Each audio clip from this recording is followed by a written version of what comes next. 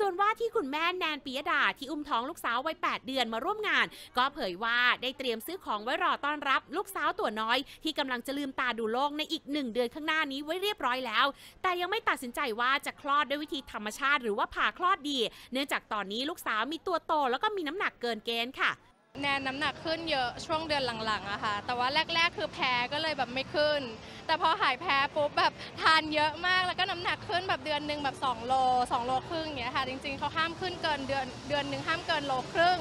ก็เลยโดนแบบโดนว่าบ้างดุบ้าง แล้วก็ลูกตัวโตเกินเกณฑ์อะ ช่วงก่อนหน้านี้คุณหมอจะห่วงเรื่องเบาหวาน แต่ว่าพอเช็คแล้วไม่ได้เป็นอะไรก็เลยโอเคค่ะ คลอดเองหรือจะผ่าหรืออะไร